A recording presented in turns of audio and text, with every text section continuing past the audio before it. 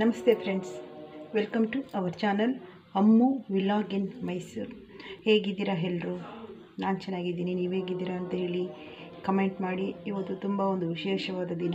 ಅದು ಕೂಡ ಅಂತಾರಾಷ್ಟ್ರೀಯ ಮಹಿಳಾ ದಿನದ ಒಂದು ಶುಭಾಶಯಗಳು. ಮಹಿಳೆ. ಆ ಮಹಿಳೆ ಅನ್ನೋ ಪದಕ್ಕೆ ಒಂದು, ಆ ಪದನ ಭರ್ತಿ ಮಾಡೋವಂಥ ಮತ್ತೊಂದು ಪದ ಯಾವುದು ಕೂಡ ಇಲ್ಲ ಅಂತ ನನ್ನ ಅನಿಸಿಕೆ.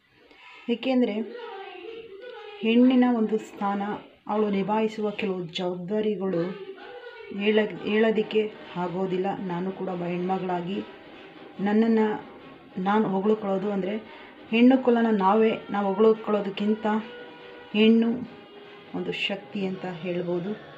ಈ ದಿನದ ಒಂದು ವಿಶೇಷ ದಿನದ ಅರ್ಥವಾಗಿ ನನ್ನ ಸಮಸ್ತ ಮಹಿಳಾ ವರ್ಗಕ್ಕೆ, ಸಮಸ್ತ ಅಂತಾರಾಷ್ಟ್ರೀಯ ಮಹಿಳಾ ದಿನದ ಶುಭಾಶಯಗಳು.